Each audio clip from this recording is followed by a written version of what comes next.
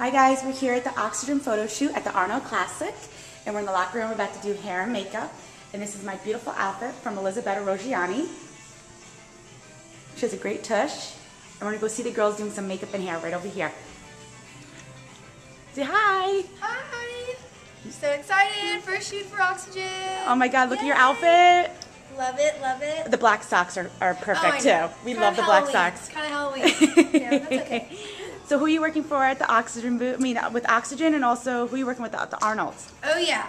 Oh. ISS Research. Love them. Best bars ever. They're delicious. Look at your arms.